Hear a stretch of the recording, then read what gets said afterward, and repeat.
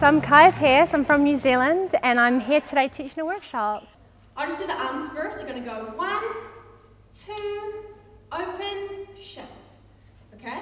Just five, six, seven, and one, two, open, shut.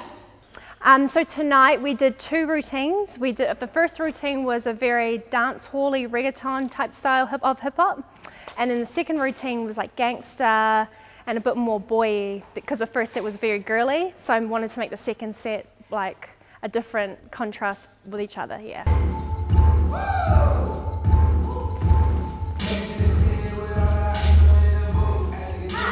I'm Natalie and I run Funkful's uh, dance group based in my state. Uh, we usually have like a big showcase but a lot of the groups have had, we got so much going on so we said it'd be nice to do something different this year and to get someone like Kaya down who's danced everywhere all around the world back in dance for every big artist you can think of so well known to have her come to Maesteg and to teach our young pupils is is really inspirational and is an opportunity of a lifetime that they may never get to get otherwise. So just really thankful that the festival been able to put this on for us really. So putting on these things really brings like all the kids in the community together and it just gives them something to look forward to and like work hard while they're here and then they leave and they feel excited and they tell their parents and yeah, it's just a cool like experience for the kids, yeah.